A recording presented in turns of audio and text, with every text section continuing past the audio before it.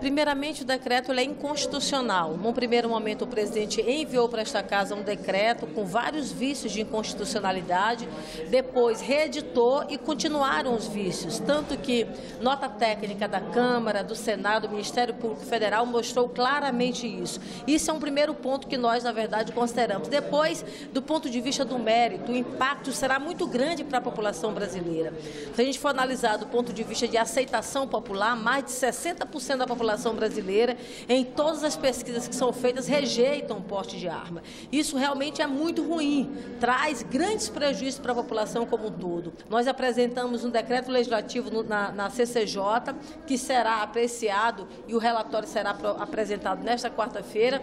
Eu espero que nós possamos aprovar esse, esse nosso decreto legislativo, que vai sustar os efeitos do decreto presidencial.